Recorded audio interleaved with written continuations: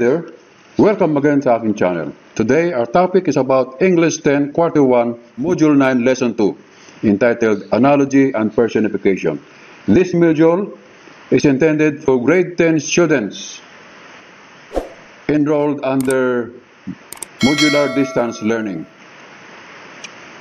Alright, how analogy and personification work? It says here, analogy is a comparison that shows the relationship between two pairs of words. While in personification, ang tawag natin dito sa Filipino ay pagsasatao. It gives attribute or character trait to a human being as if an, an inanimate object can do something like a human being. Alright. An analogy is an extended comparison which develops and explains the various points of similarity between the things compared. Like this one. Here, cow is being compared to hen. By the way, this is an example of analogy in test question. Okay. Most of the time, writers use analogies to let the readers connect an unfamiliar experience or circumstance to some other condition that will help the readers to be more familiar with it. Okay. Now, on the other hand, personification can be fun to write, but you should develop them carefully and only for a clear defined purpose. Like this one. In this picture, pencil here is giving attribute of a human being as if it is able to speak or to move by itself. Another one is the picture of a cloud here.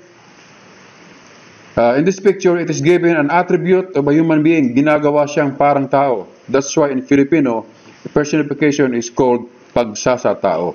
Ginagawang tao ang isang bagay na hindi naman tao. Alright, next. They can easily sound pretentious and ridiculous when you want to be serious. Alright, like this one. And another is this one. Now, always remember that personification can cause to provide an inanimate object with human traits for either humorous or vivid effects. Alright, like this one. The alarm clock yelled. Dito, sumigaw itong alarm clock na parang tao. Another one is, the slices of bread jump out of the toaster and suddenly scaring me. Okay, itong uh, slices of bread, lumukso na parang tao. So this is called personification. Next, analogies are used to clarify an item, experience, or set of circumstances by likening it point by point to another. Like this one. Frog is being compared to a duck. Okay, next. Personification also works as kind of metaphor by attributing human qualities to non-human things.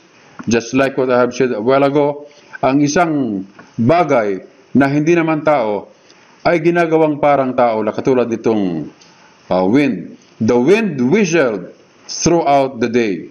Ang ang hangin ay sumipol sa buong araw.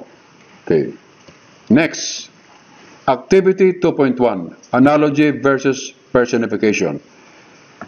Direction, read the following sentences carefully and identify whether each sentence states an analogy or personification. By the way, you should be able to write down the answers here kasi wala itong answer sa Kito Correction sa inyong module. So, try to write down the answers here. Okay, be ready. Number one, blank. Every choice you make is like spinning the wheel of fortune. Sometimes you will get the result that you want, while other times you will end up something you always hope to avoid. The answer here is analogy. Number two, the vines wove their delicate fingers together. The answer here is personification kasi itong vines ay naghahabi na parang tao. Okay. Number three, the radio suddenly stopped singing and stared at me. Alright, itong radio ay binibigyan ng katangian na parang tao. That's why this is called personification. Number four, photosynthesis does for plants what digesting food does for animals. It is the process that lets them convert nutrients into the fuel needed to grow and develop. Alright, in this case, ang photosynthesis ay ikinocompare digesting food does for animals. So this is called analogy. Next, life is like a race. The one who keeps running wins the race, and the other one who stops to catch a breath loses. This is also an example of analogy. Kasi meron tayo ditong comparison. Next, the sea lashed out in anger at the ships, unwilling to tolerate another battle. In this case, the sea is given attribute like a human being, as if it is able to feel anger na parang siya ay may kakayahang magalit. So this is personification. Number seven, the sky misses the sun at night. In this uh, sentence, sky is also given the attribute of a human being as, is, as if it is able to feel something. So this is personification. Number eight, just as a sword is the weapon of a warrior, a pen is the weapon of a writer. Dito meron tayong comparison ng sword at ng pen. So this is analogy. Number nine, how a doctor diagnoses diseases is like how a detective investigates crimes. Dito, ang doktor ay kino-compare dito sa detective. So this is analogy. Number 10, just as a caterpillar comes out of its cocoon, so we must come out of our comfort zone. This is also another example of analogy. Okay, an activity under what I have learned. Number one, a and blank is an extended comparisons which develops and explains the various points of similarity between the things compared. Okay, the answer here is analogy. Number two, on the other hand, blank can be fun to write, but you should develop them carefully and only for a clearly defined purpose. The answer here is personification. Number three, blank are used to clarify an item, experience, or set of circumstances by likening it point by point to another. The answer here is analogies. Number four, a and blank usually begins with a simile and then offers some detail and occasionally some narration to illustrate the likeness between two items or experiences. The answer here is analogy. Number five, blank also works as kind of metaphor by attributing human qualities to non-human things. Okay, this figure of speech lends itself readily to humor but it can also be serious in its emotional impact and on a reader. The answer here is personification. All right? Activity 2.2, creating analogies. Direction here is choose three of the following pairs of items or think of a pair of your own. Compare the two items and develop the comparison into an analogy.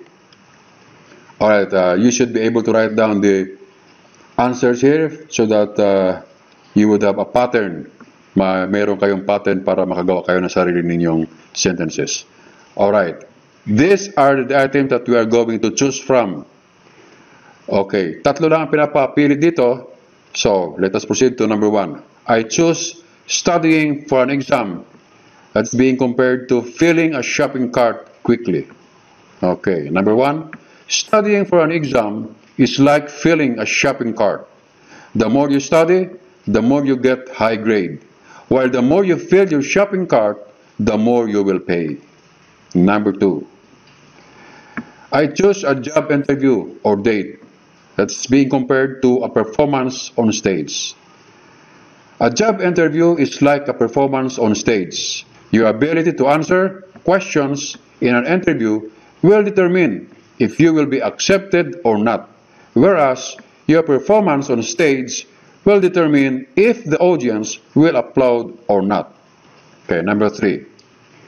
I chose a person you know uh, that is being compared to some fruit or vegetable. A person you know is like a fruit or vegetable. You may know a person's outward appearance, but you don't know what's in his mind.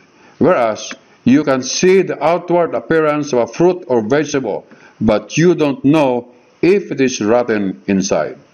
Okay. Next activity, 2.3, using personification. And there is the instru- instruction. Write five sentences, each containing personification. Then select an item from the following list to be used in each sentence. Alright. Here are the list of the items na pagpipilian. Pero ang pinapagawa dito ay five sentences lang. Alright, let us proceed. Number one, I choose telephone. The telephone is waiting for your call. Ang telephone dito ay binibigyan ng buhay na parang tao. So, this is personification. Number two, the skyscraper is courting the clouds. Number three, the signpost knows the direction. Number four, the clouds wander aimlessly in the sky. Number five, this computer loves all kinds of games.